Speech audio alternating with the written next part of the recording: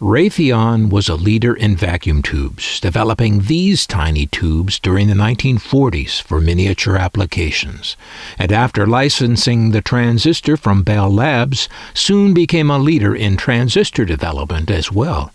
They were the first commercial producer of transistors, and by 1955 had nearly 2 million of them in use, more transistors than all other manufacturers combined.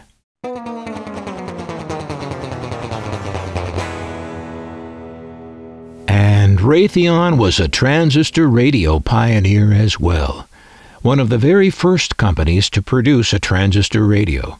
Many of the makers from the earliest days of the transistor radio no longer exist. Raytheon is one of those that unfortunately still does exist. Now, why would I say unfortunately? Well, have you seen what they're up to lately? I don't want to talk about it.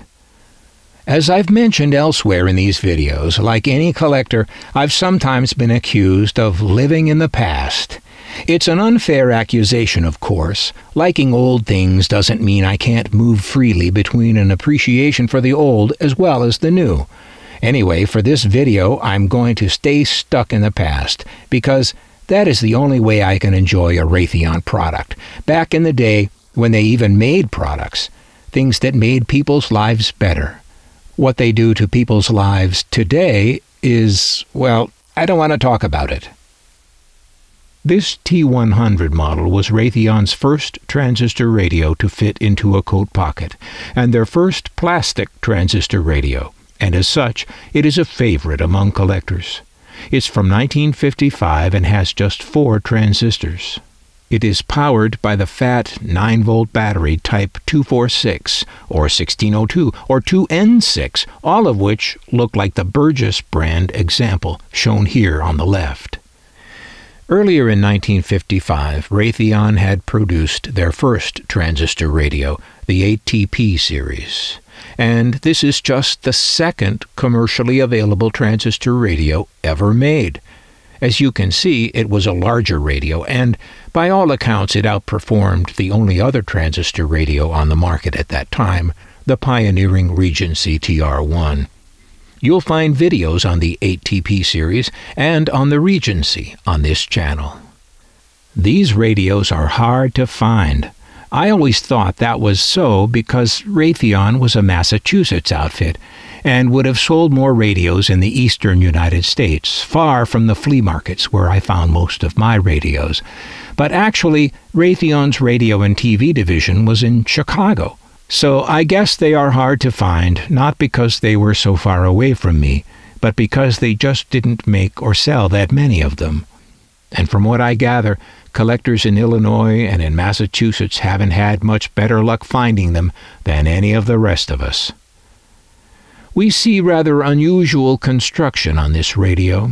For servicing, the chassis is removed from the front after removing the front panel, and battery access is from the rear through a cover that uses a metal latch to hold it on to the rest of the radio. Raytheon used this same layout for their next and last plastic bodied transistor radio, the T150. As you see, we are looking at two different colors of this radio today the T100 1, which is the yellow and black model, and the T100 5, which is ivory and gray. This radio also came in a T100 2, which is ivory and yellow, a T100 3, which is black and red, and a T100 4, which is ivory and red. The owner's manual for this radio is dated December 1955, as is the service manual we'll look at in a minute. Inside that owner's guide, we get some basic instructions for use, along with an illustration to assist us with battery replacement. That illustration is actually numbered and has a small caption, Drawing number 1329. Ha! Engineers! This was clearly put together by the engineering department and not the goofballs in marketing. In the service manual, we also see a couple of illustrations of the parts layout. This manual talks about transistor servicing and says that substitution is the only reliable check for a transistor suspected of being defective, downplaying any sort of transistor testing methods. we get instructions for removing the chassis and for battery replacement, which is a slightly longer version of the battery instructions that are in the owner's manual and that use the same illustration. Then we see radio alignment procedures and the schematic diagram. On the back is the replacement parts list. In the 1980s, when I first began to collect transistor radios, I tried hard to pry the early history of them from whatever documentation I could find and whatever observations I could make.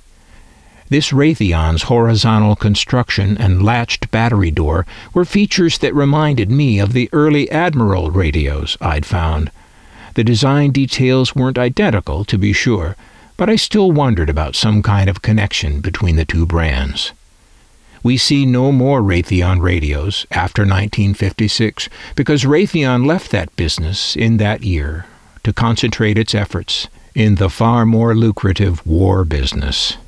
Raytheon sold its radio plants to Continental Radio and Television Corporation, makers of the brand, wait for it, Admiral.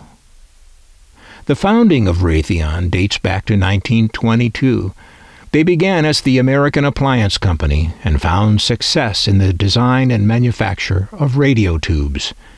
They used the name Raytheon on those tubes, which is a word construction meaning light from the gods. Imagine, back in those early days, seeing the warm orange glow of those vacuum tubes, bringing in radio broadcasts right out of the sky. Well, light from the gods indeed. One wonders about the light from the gods Raytheon rains down on people today in distant wars that somehow never end. I don't want to talk about it.